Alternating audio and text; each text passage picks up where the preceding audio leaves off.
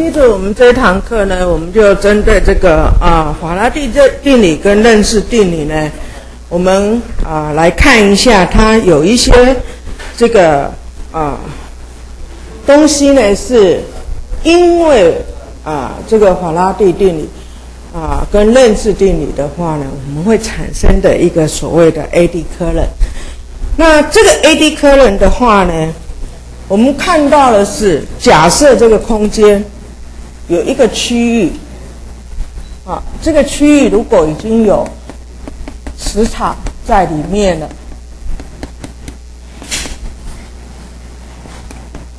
磁场 V 在里面，那我们说，我们有一个导体，对，那这个导体呢，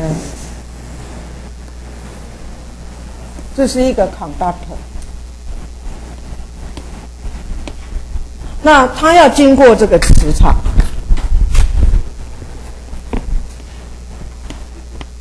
哎，好，我应该把导体再往上移一点好了。那这样的话，经过磁场比较明显。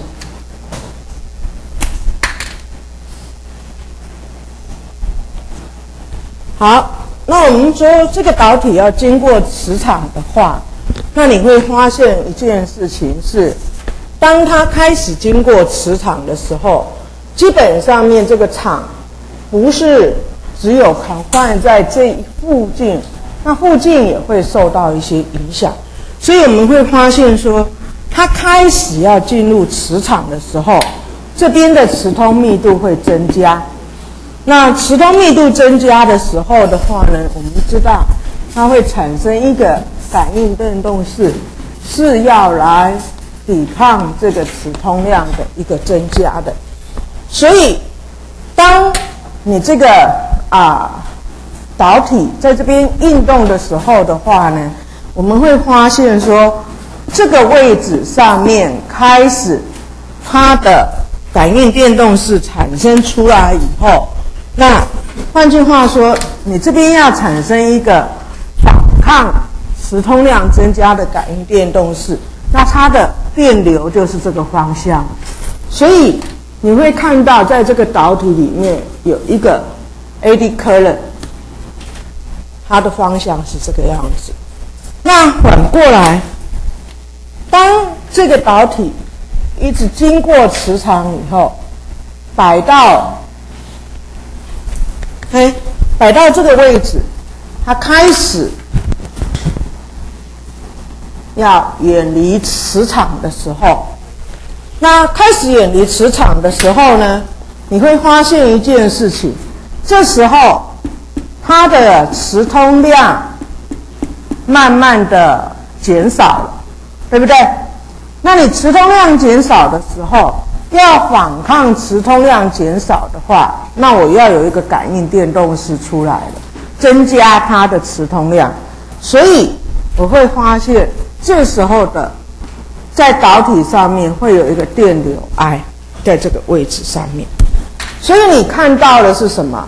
电流随着导体的运动，或者我说电流随着磁场的变化，它的电流是改变的。啊，那反过来，这个装置是你看到导体在移动，那磁场呢是固定的情况。假设我现在有一个磁场，OK，好，那这个磁场呢是随着我把它画在这里好了。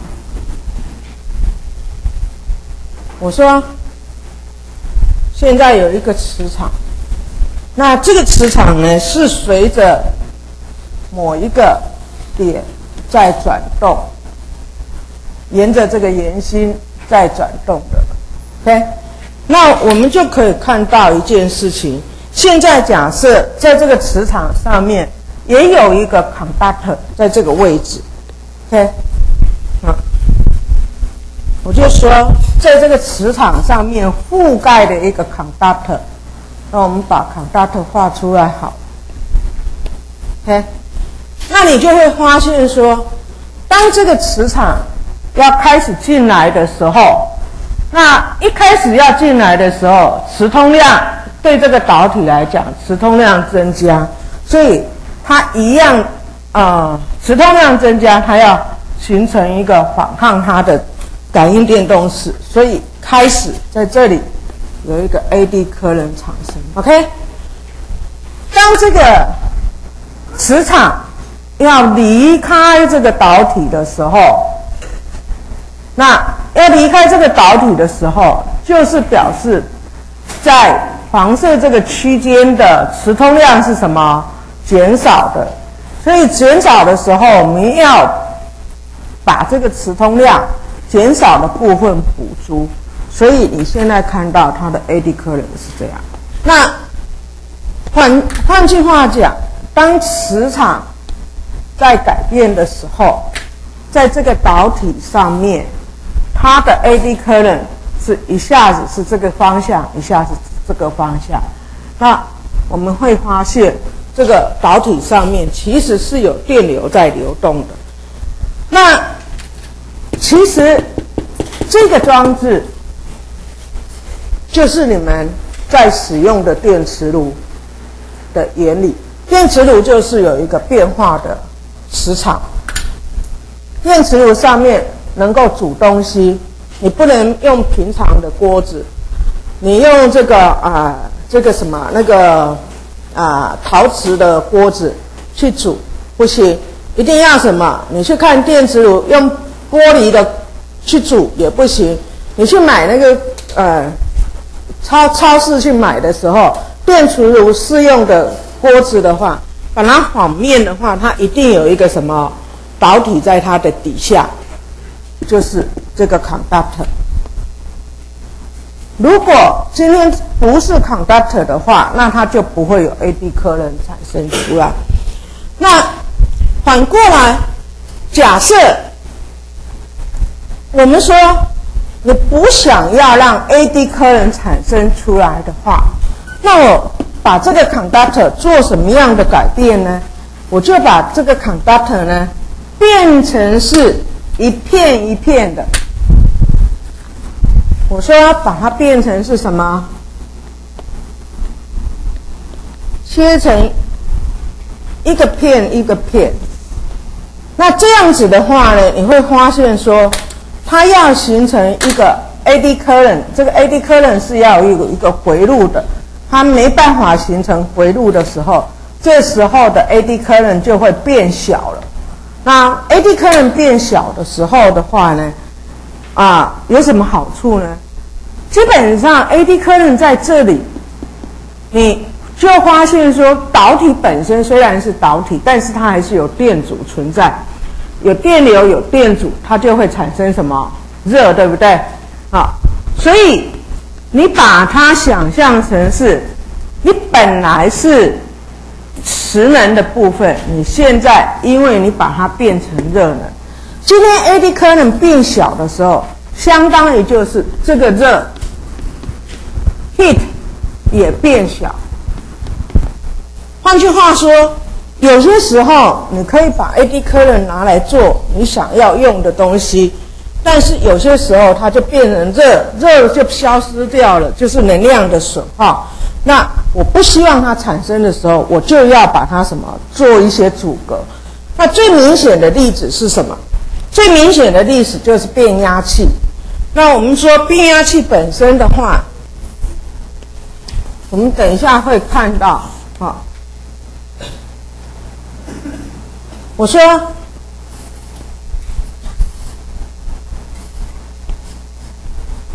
这是一个变压器。那我们会把这个主线圈跟副线圈缠绕在这个变压器上面，OK？那你会发现这个里面这一块就是我们的铁芯。那同样的，本来你这边是一个主线圈、一个副线圈的情况之下，那 I one 改变的时候，那这边的呢？这个 I two 也会跟着改变，OK？那 I one 跟 I two 改变的时候，同样的在这个导体上面也会产生 AD current。那这个 AD current 的话呢，我们如果把它这个截面把它拿来看的话呢，你就会发现说，这个 AD current 是产生在这边的情况。那这个 AD current 一旦产生的时候，这 L 一旦产生的时候，那一样的这个变压器就会发烫。也就是我们所谓的热都消失掉了。那最明显的例子，你们可以把日光灯里面有一个变压器，然后其他有变压器的东西，你会发现它会发烫。发烫。那怎么样把这个 AD 可能变成非常非常的小呢？那我们就希望它不要产生这样子的回流，因为这个回流就是什么？因为你这个。哎，每个 flux 在改变的时候，那你会产生这个 AD current。那我们最好的方法的话呢，就是把这整块的这个铁啊，我们把它怎么做呢？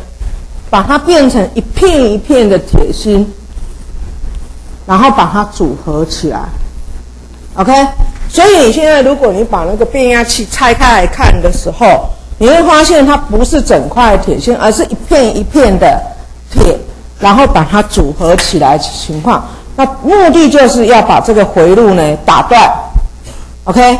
那它如果你是一片一片的，它的回路就变成小回路而已了，而不而产生的 AD current 就跟着减少的情况。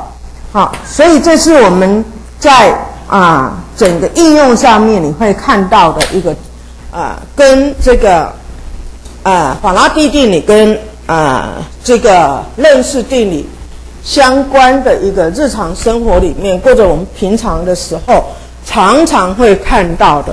那 AD current 在哪个地方会产生呢？非常多的地方，譬如说你们开车子的时候，只要有变压器的地方也会产生；只要有线圈、有啊导体的地方都会产生。那个火车的那个铁轨上面，跟那个火车的那个。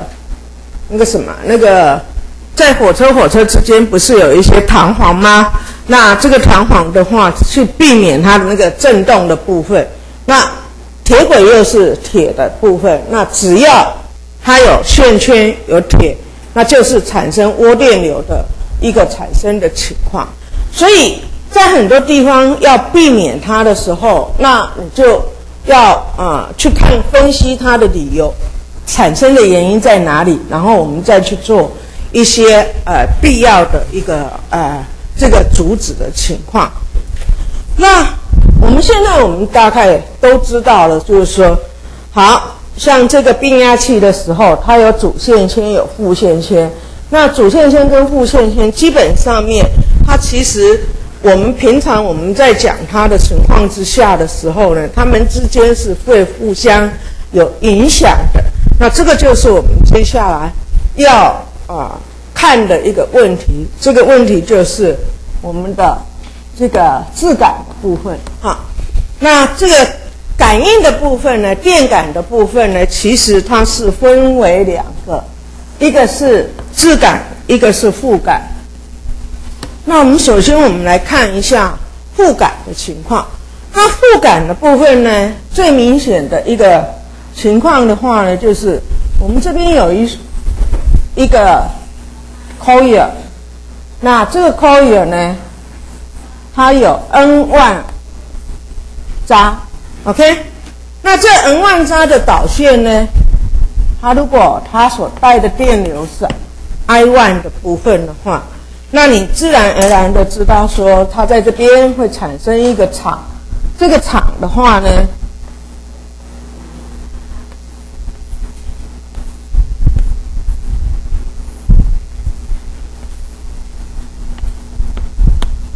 OK，我们看到了，就是说这个 N 万加的场，它产生的磁场的部分大概是这个样子。OK，那这个场产生出来以后的话，假设我们说在这附近有另外一个 coil，那这个 coil 呢是 N2 扎的导线。哎，那我们会发现一件事情的话，就是说，当 N1 哎 I1 呢它劝举的时候，那你会发现这个里面的电场，哎不是磁场，它就跟着改变。那这里面的磁场跟着改变的时候呢，通过 N two 的这个 magnetic flux 也会跟着改变。换句话说，I one 改变的时候呢，Y two 会跟着改变。OK，那因 Y2 的改变是因为。Y one 的改变而引起的，OK，那这个 Y two 呢？它的改变呢？如果它随着时间有在做变化的时候，那我们就看到在 N2 上面会产生一个感应电动势。那这个感应电动势呢，是负的 d phi two d t。那这个感应动动势是产生在 N two 上面，我们就用 i s s i o n two 来表示。那因为 N two 上面有 N 渣 N two 渣的导线，所以我们把这个 i s s i o n two 呢，啊，乘上了 N two 倍的部分。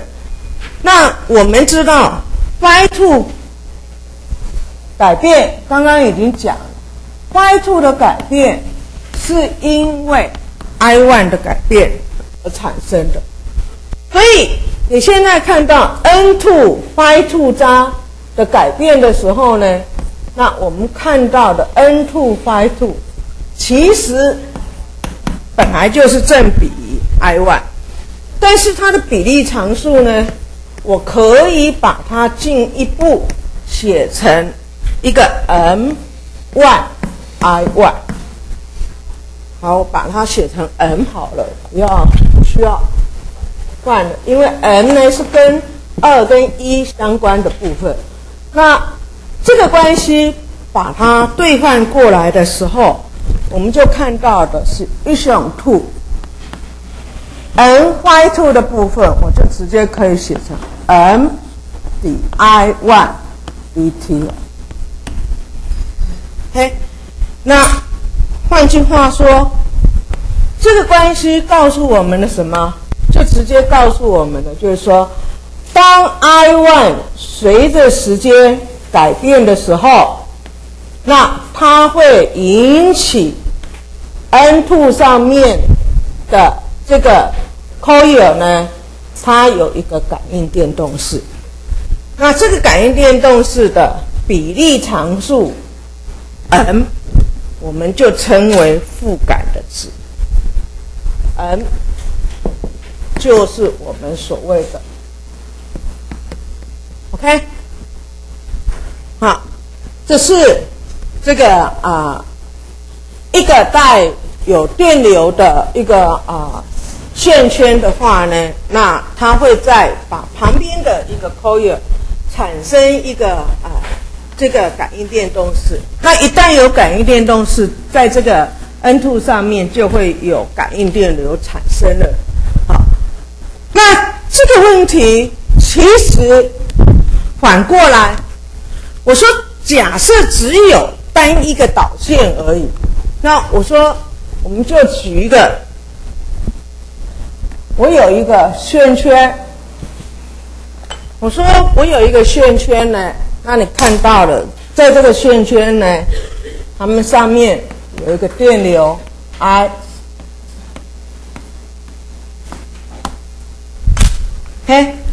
那对这个线圈来讲的话，假设我的电阻不改变的话，那这上面的这个电流已经稳定的时候，基本上面它会在这里面产生一个磁场这是我们已经知道的。Ok 这是我们已经知道它会在这边产生一个磁场的部分。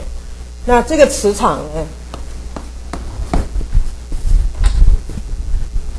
那但是假设我现在我把这个电流改变，怎么改变？因为你这边的电阻可以改变，那电阻一改变，电流就跟着改变了。一旦电流改变的时候，那换句话说，那里面的 flux 也跟着改变。那电流改变，flux 改变，那跟一旦 flux 改变的时候，那我们可以看到。当电流 I 改变，phi 跟着改变的时候，那上面就会有一个感应电动势产生。这个感应电动势当然是跟这个 flux 的改变是相关联的。然后我们上面有 n 扎的导线，所以我们把它乘上 n 倍。OK，那同样的电流跟 flux 的改变，flux 的改变跟电流 I 是成比例关系。那我们 n 倍的 y 跟 I 的关系呢？我们之间跟这边一样，它是有一个比例常数。这个比例常数我们把它称为 L。那完全是自己本身的电流改变。引起我的 flux 改变的，所以我这个 L 呢，就叫做质感。OK，所以我们可以看到，你现在你看到了这个质感的比例常数出来以后，那换句话说，我上面的感应电动势呢是跟什么？跟 L d I d t。相关联，那这个呢，就是在一个自己本身的线圈上面，哈，那因为电流的改变，而本身自己没有受到外面的哦，只有自己本身就会影响了，而产生的一个感应电动势。那我们就可以看到，任何一个电器用品，只要它是一个 coil。那这个 coil，那我们平常用的又不是直流电，都是交流电的部分的话，交流电在上面，电流就是改变。电流改变的时候，它本身就会产生一个什么？一个感应电动势出来。那这个感应电动势的大小，就跟这个 L 的比例常数相关。好，好，那现在接着要问的一件事情就是说。那这个比例常数到底是什么样的一个啊值呢？OK，我们都知道已经有比例常数在这里了。那这个比例常数的值是什么样子的情况？这是我们接着要问的一个问题。到这里有问题吗？啊？有没有问题？好。那没有问题，我们接着我们看一下。那我们就举个例子来看待好了。我说，就是以一个螺旋线管，那上面呢有 n 万加导线，然后呢，同样的在这个螺旋线管上面的话呢，再缠那 n two 扎导线。那以这样子的一个装置来看的话，那我们就可以看到，我说刚刚负感的概念上面的话，我说对 n 万扎，对 n 万扎的这个 coil 来讲的话，就是第一个 coil 来讲的话，那我们看到它产生的磁场，那。假设这个导线是非常的紧密的，而且是无穷长的，那你已经知道一个无穷长的导线的，哎，无穷长的螺旋线管里面所产生的磁场，是跟它的这个单位长度里面你的这个扎数相关，还有跟它所带的电流 I1 相关。OK，这是我们在之前我们已经知道的。那好，那这个是一个 uniform 的场，跟一个非常长、非常直的这个螺旋线管来讲，非常长、非常直的螺旋线管来讲，然后我们可以看到是这样子的情况。对这个 phi v 长这个场所产生的 flux 是等于多少呢？那你就把 flux dot dA，那所通过 flux 的 dA 就是这个面积，因为你这个整个 flux 进来，I 进来的时候，那这个 flux 通过这个 dA 的部分，所以你知道它是一个 uniform 的场，所以你把它计算起来的时候，那很简单，N one I one 乘上。这个 cross section 是等于 a，这是 phi 的部分。那我们马上我们就可以知道了。那你的负感值是等于多少呢？那负感值的部分，n，n 就等于是 I one。改变的时候呢，I one 改变的时候呢，引起的第二个 N two 这个 flux 的改变，那我们看到的 I one 分之 N two phi two，所以我们看到 N two y two y two 其实就是它，OK，所以我们看。我们了解了 I one 分之 mu 零 L 分之 ny iy a 那你把 I one 消掉以后，我们就看到 mu 零 L 分之 n y 哎 A，那这边还有一个 N two 要 lose 掉，所以你现在你你看到一个非常。啊，有趣的一个事情就是说，原来我们的定义里面有电流，但是在这里面你看到的是，所有的电流已经通通什么消掉了，变成是什么？只跟它的截面积，只跟它的长度，只跟它的上面缠绕的导线的 n one n two 值有关系。跟它上面带多少电流，并不影响它的这个负感值。那这个结果是跟什么？跟我们当时在讲这个啊，capacitor，就是电容的情况是什么类似的？电容我们当时的定义是什么？电容我们当时的定义就是 C 呀，是等于导体上面的 charge 除上啊。potential difference 对不对？所以两个导体，那它有一个 potential difference，那它上面所带的电荷 Q，然后这两个 potential difference V 就变成是它的导。但是这个 capacitor 到最后算出来跟 Q 有没有关系？没有关系。跟 V 有没有关系？没有关系，只跟什么？如果以平行板来看。只跟它上面的截面积的大小，然后跟什么？跟它的距离有关系而已，对不对？同样的情况，电感也是一样。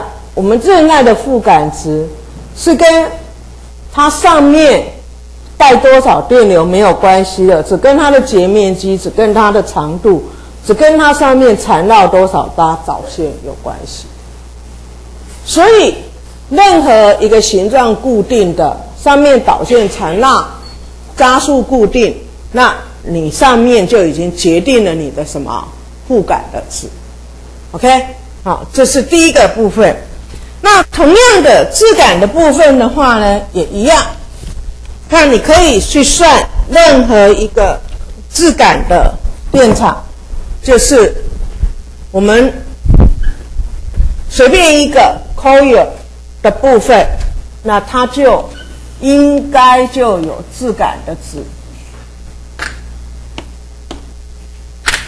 那依照这个计算的方式的话，那 L 的部分是等于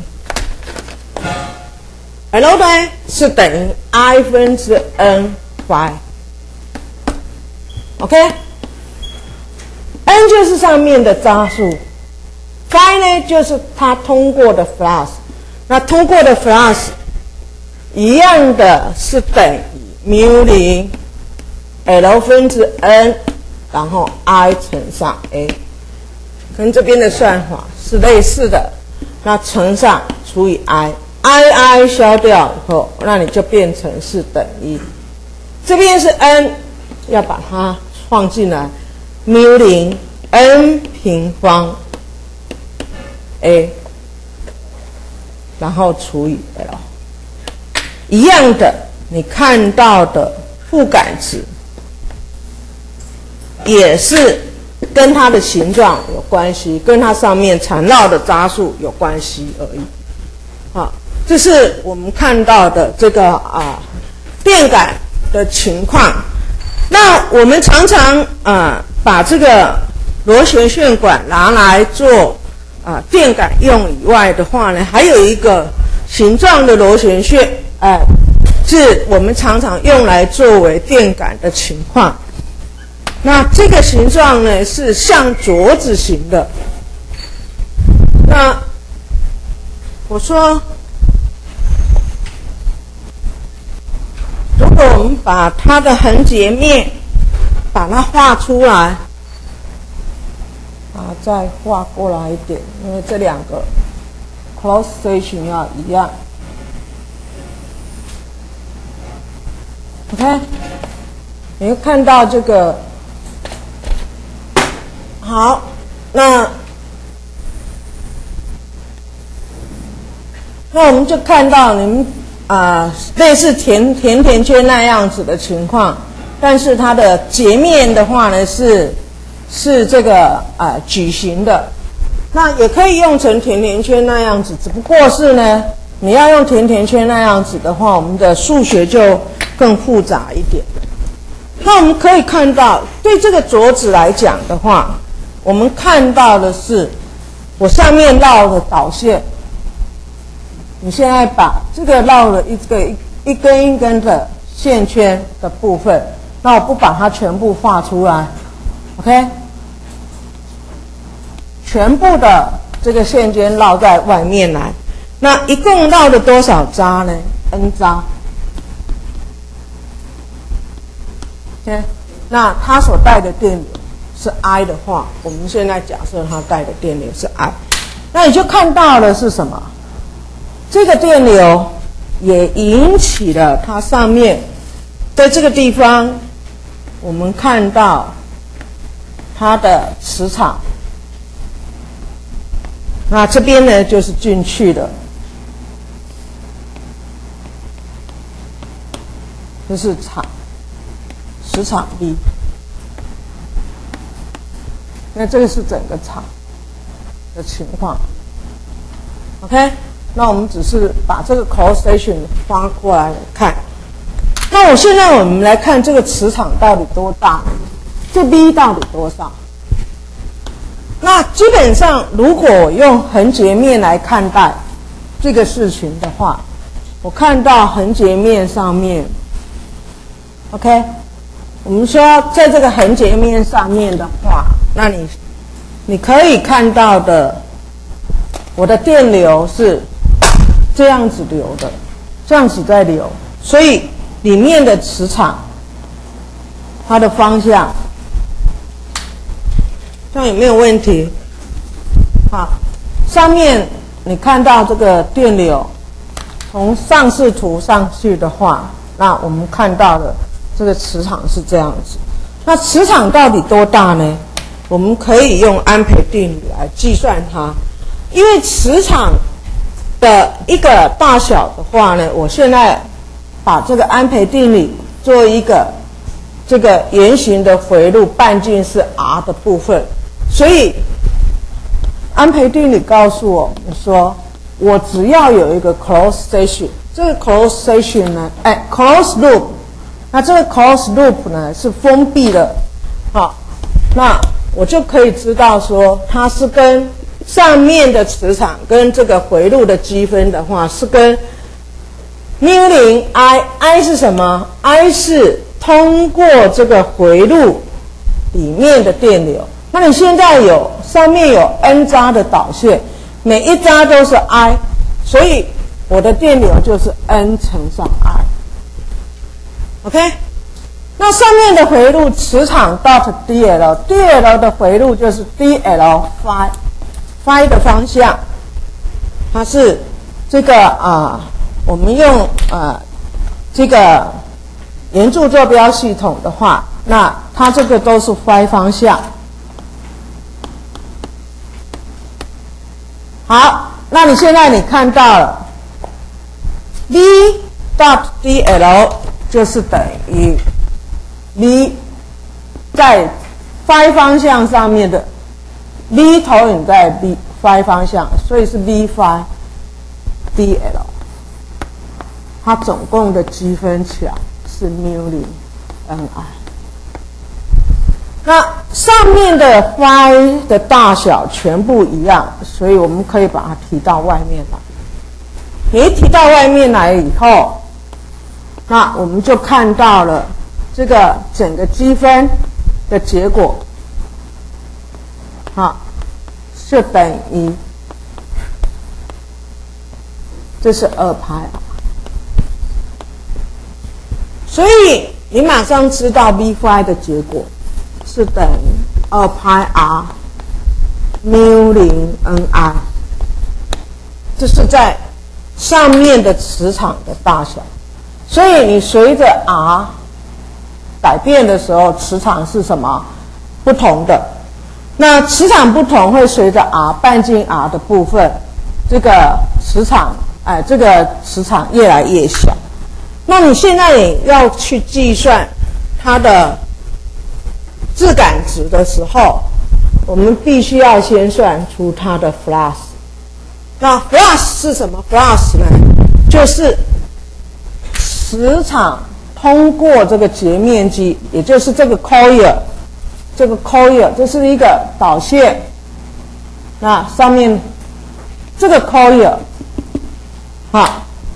通过这个 coil 的 flux 的大小，那我们现在我们看到每一个半径 r 的部分的这个半径 r 的磁场是不同的。那我要计算这个的 flux 啊，你不能直接把。它乘上截面积，要一点一点去把它积分起来。那这个积分是怎么积呢？我们就可以看到，我可以把我的 flux 的部分，我说它是 v dot ds a。那 dA 呢？我可以把它写成，这是它的高度，截面横截面的高度。那这个。d a 的部分，我可以把它写成 d a 乘上 d r，OK，所以我们现在我们看到这个是 h d r，那截面积的部分，它一样是跟磁场的方向一样，它是 phi 的方向，所以你现在 v dot a 的部分的话呢，那就是等于二派 r mu 零 n i 乘上 h d r，那整个把它积起来，OK，那其他都是常数，把它提到外面来，mu 零 n i h 都是常数，r 分之 d r，那 r 从哪里开始积？r 从内径。A 一直积到外径 b 所以我们可以从内径积到外径，也就等于二派 mu 零 n i h log 的 a 分之 b。好，Flash 你知道以后的话，那 L 质感值的话就是 i 分之 n 乘上 y 的部分。OK，那我们马上我们知道了。那 phi 把它带进来，那 i i 消掉，所以最后的结果就是等于二派缪零 n 平方 i 啊 i 已经消掉了 h log a 分之 b，OK，这个是质感的部分。那如果是负感，就是两个线圈呢。N one 的线圈跟 N two 的线圈就是只是把 N 平方的部分变成 N one、N two 而已。好，那这是我们常常用的一个啊，这个像镯子一样、呃甜甜圈一样的一个这个 coil 的部分。那你可以看出来，对这样一个装置，它其实它的电感值呢是跟它的。